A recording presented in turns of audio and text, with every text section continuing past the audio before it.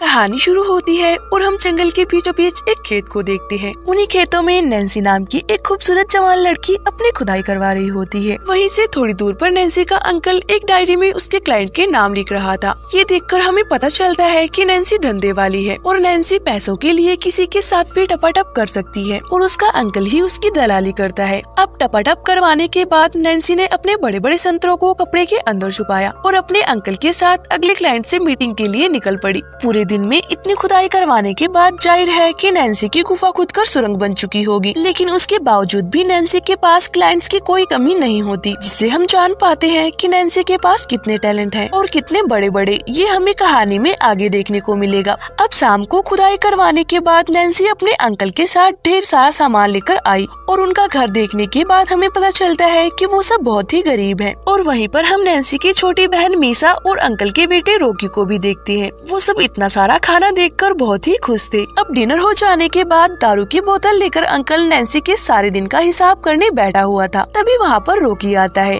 Nancy और उसका father क्या काम करते हैं, उसका सारा आइडिया रोकी को भी था। इस काम में बहुत ज़्यादा खतरा भी था, इसलिए रोकी ने अपने फादर को एक उस्तरा दिया ताकि वो संकट आने पर उससे अपना बचाव कर सके। अब रोकी वहाँ से उठकर नैन्सी के पास जाता है, जो कि अभी अच्छे से नहा रही थी, क्योंकि अभी उसे एक और क्लाइंट से मिलने गोडाउन में जाना था। अब नैन्सी मस्त टिपटो बन के सुबह सुबह अंकल के साथ अपने क्लाइंट से मिलने पहुँची। लेकिन उस क्लाइंट ने नैन्सी को ऐसा पीला कि नैन्सी ज़ोर ज़ोर से चिल्लाने लगी। इधर अंकल वही बाहर खड़ा होकर दारू पी रहा था। लेकिन जब क्लाइंट ने नैन्सी की पीछे वाली गुफा में अपना औज़ार घुसाया, तब नैन्सी रोने और चीखने लगी। तब अंकल रूम के अंदर आया और उस क्लाइंट को रुकने के लिए बोला, लेकिन वो क्लाइंट रुकने वाला कहाँ था? फिर भी जैसे तैसे करके नैन्सी उस क्लाइंट का हथियार अपनी गुफा से निकालकर अंकल के पास आ गई। इसके बाद अंकल और उस क्लाइंट की झड़प में उस क्लाइंट ने अंकल को बस थोड़ा सा धक्का ही दिया था, पर अंकल का गला कट गया, उस उस तरह से जो रोकी ने उन्हें दिया था। अब मौके पर ही अंकल अपना दम तोड़ देते हैं, जिससे पूरे घर में मातम वाला माहौल छा गया। अब धीरे धीरे उनके सारे पैसे भी खत्म हो रहे थे। लेकिन अंकल के फ़ोन पर अभी भी क्लाइंट्स के फ़ोन लगातार आए जा रहे थे। तब मजबूरन नैन्सी को क्लाइंट्स का कॉल अटेंड करना पड़ा, जो कि उसे मीटिंग के लिए बुला रहे थे।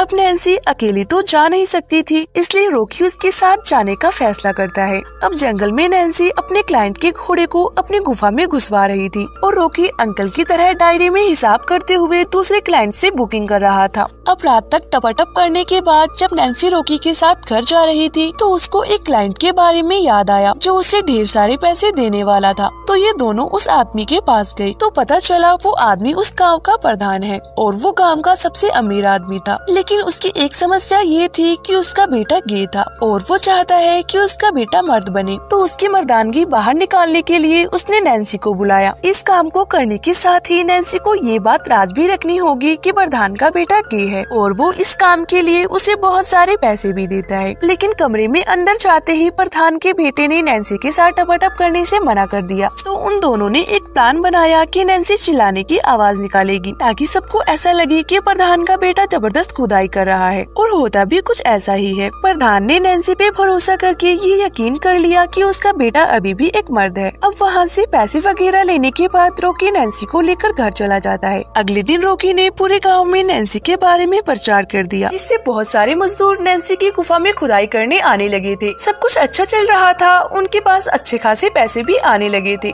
पर तभी एक दिन उनके इस धंधे के बारे में पुलिस ऑफिसर सैमुअल को पता चला। तो वो तुरंत रोकी से मिला और उससे अपना कमीशन सेट किया, जिसके बाद उसने भी नैन्सी की टांगे उठाकर उसके मुलायम जिस्म की सवारी करी और खुदाई करने का इतना मज़ा उसे आज तक नहीं मिला था। और यही सैमुअल ने रोकी को भी अपने गे कांस्टेबल से इंटीमेट होने को बोला और मजबूरी में रोकी को भी ऐसा करना पड़ा। और इस दौरान उसे काफ़ी बार वोमिटिंग भी हुई, क्योंकि रोकी ने ऐसा पहले कभी भी नहीं किया था। अब ये सब होते हुए दो महीने गुजर जाते हैं और अब रोकी भी गाँव की औरतों के साथ मीटिंग्स लेने लग गया था और अब इन दोनों भाई बहन ने मिलकर पूरे गाँव में काफ़ी तगड़ा वाला टपाटप का काम चालू कर लिया था। अब ऐसे ही एक औरत को पेलने के बाद रोकी नैन्सी के साथ घर जा रहा था। तभी उनको रास्ते में सैमिल मिला और उनसे अपना कमीशन लिया और आगे बढ़ गया। अब अगले दिन नैन्सी की काफ़ी ज़्यादा तबीयत खराब हो जाती है तो रोकी उसको कंबल उड़ाकर खुद बाहर दवाइयाँ लेने चला गया। अब इसी दौरान सैमुअल भी गाँव का दौरा कर रहा था। तभी उसे कॉलेज से घर जा रही एक यंग लड़की दिखाई देती है। अब वो लड़की सैमुअल को काफ़ी ज़्यादा पसंद आ जाती है, इसलिए वो उसके पीछे लग जाता है। अब वो लड़की घर पहुँच अपने कपड़े चेंज करती है और ये सब कुछ सैमुअल भी चोरी छिपे बाहर खिड़की से देख रहा था। वही दूसरी तरफ़ कांस्टेबल का गे दोस्त दारू के नशे में खूब धूत रखा था तो रोकी ने उसे टपाटप के लिए अकेले में बुलाया। लेकिन वो इतना ज़्यादा नशे में था कि रोकी को कुछ करना ही नहीं पड़ा। बड़े ही आराम से रोकी उस कांस्टेबल के वॉलेट से उसके सारे पैसे और उसकी महँगी घड़ी अपने साथ ले जाता है। अब उस घड़ी को बेचकर रोकी ने नैन्सी के लिए सारी दवाइयों का इंतज़ाम कर लिया था और दवाइयाँ लेते ही नैन्सी की हालत में सुधार भी होने लगा था। अब नैन्सी के बीमार होने की वजह से रोकी को टपाटप का काम करना पड़ रहा था। इसलिए रोकी ने प्रधान के बेटे जोसवा को बुला लिया। जोसवा भी बड़े प्यार से नैन्सी का ख्याल रख रहा था। वही दूसरी ओर रोकी ने उस कांस्टेबल की चुराई हुई घड़ी को बेचा नहीं था, बल्कि उसे पहन रखा था। इसलिए वो सैमुअल की नज़र में आ गया और फिर सैमुअल ने कांस्टेबल के साथ मिलकर उसे खूब मारा और उसे जेल में डाल दिया। उसी लॉकअप में रोकी को वो कॉलेज वाली लड़की भी दिखी। जिसे सैमुअल ने किडनैप कर रखा था। पर अभी तक उसने उस लड़की को हाथ भी नहीं लगाया था, क्योंकि सैमुअल उसके साथ ज़बरदस्ती नहीं करना चाहता, बल्कि वो उसकी मर्ज़ी के साथ ही उसके साथ टपाटप करना चाहता था। उधर दूसरी तरफ़ रोकी के घर न आने से घर का खर्चा निकालना मुश्किल हो गया था। यहाँ तक कि सभी दुकानदारों ने भी नैन्सी को उधार देने से मना कर दिया था। अब कमज़ोरी की वजह से नैन्सी घर में ही बेहोश हो जाती है, जिसके बाद नैन्सी की छोटी बहन मीसा ने जैसे तैसे करके उसे होश में लाया। दूसरी तरफ़ जेल में जब रोकी ने उस लड़की से बात की तो हमें उसका नाम पता चला। उसका नाम अमाया था। अमाया ने रोकी से खुद के लिए हेल्प मांगी। लेकिन रोकी की इधर खुद की फटी पड़ी थी तो वो उसकी हेल्प कैसे करता? अब उन दोनों में चल रही बातें सेमिल सुन लेता है और वहाँ गुस्से में आता है। और अमाया को अपना खौफ दिखाने के चक्कर में उसने रोकी की जमकर कुटाई कर दी। और फिर वो रोकी को धमकाता भी है कि अगर वो अपना मुँह नहीं खोलेगा तो ज़िंदा रहेगा। तभी वहाँ सैमुअल का एक दोस्त आता है, जिसकी बातों में आकर सैमुअल ने अमाया के कपड़ों को चेंज करवाया और साथ ही उसके संतरों को भी टच किया। अब ये सब देख रोकी को बहुत बुरा लगता है, लेकिन अभी वो कुछ कर भी नहीं सकता था। अब इधर सैमुअल को रोकी की डायरी मिल गई, जिसमें पूरा हिसाब किताब लिखा हुआ था। तो वो उस किताब को लेकर रोकी के पास आया और उससे उन क्लाइंट के बारे में पूछताछ की। उसके बाद जेल से छोड़ने के लिए उसने रोकी से पैसे मांगे, लेकिन उसके पास पैसे नहीं बचे थे, क्योंकि उसके सारे पैसे नैन्सी की दवाइयों में लग गए थे। अब सैमुअल ने पैसे कमाने का दूसरा तरीका निकाला, जिसमें उसने डायरी से नंबर लेकर एक क्लाइंट को फ़ोन लगाया और उसको पुलिस स्टेशन बुलाया और उसको